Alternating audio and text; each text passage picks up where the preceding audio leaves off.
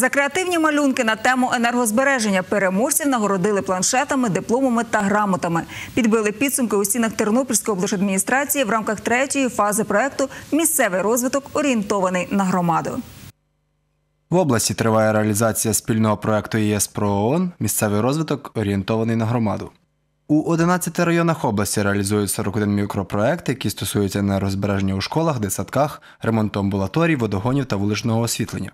На сьогодні повністю завершено ремонтно-будівельні роботи у 29 мікропроектах громад.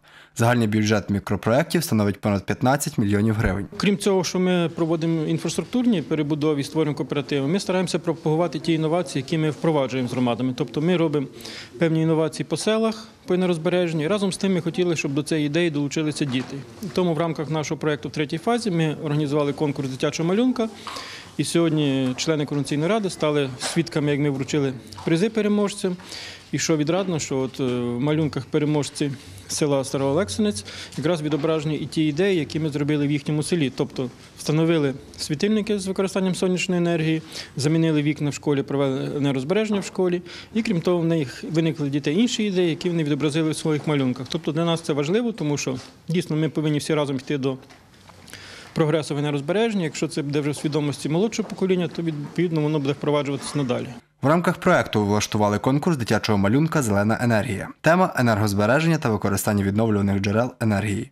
Діти принесли понад 200 робіт. За найкреативніші малюнки учасників нагородили планшетами, дипломами та грамотами. Зараз підвищуються тарифи. Я б хотіла, щоб е, в нашій країні жили такі енергозберігаючі квіти, щоб були е, ну, щоб було екологічно чисто і, і менше було.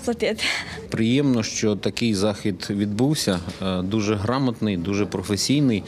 Е, Це шлях, коли ми можемо допомогти громаді маленькій, віддаленій, в якої якісь є певні проблеми, які через бюрократію, яка не може вирішити.